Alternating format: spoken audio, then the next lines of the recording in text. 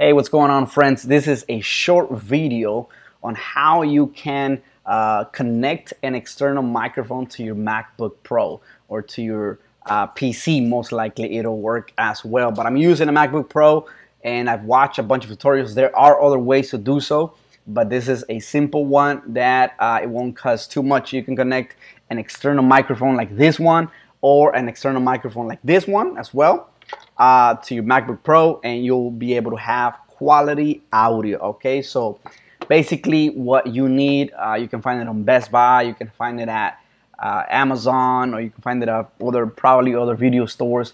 But you will need is a Roccat Juke. Okay, this is a USB um, stereo sound card. Basically, that's all you need. So what you'll do is you'll connect it um, you'll see a red and a green input. So your external microphone is going to go into the red one. The green one is for the speakers, okay, or for the um, yeah for the speakers. You can either use an, the internal speakers of your of your computer, or you can plug in your uh, headphones and you'll be able to hear yourself as well. So once you connect um, your microphone, your external microphone, what you'll do is you're gonna go into systems preference on your MacBook Pro uh, and then you're gonna go to sound and once you go to sound you'll be able to see sound effects output and input. Input is your microphone.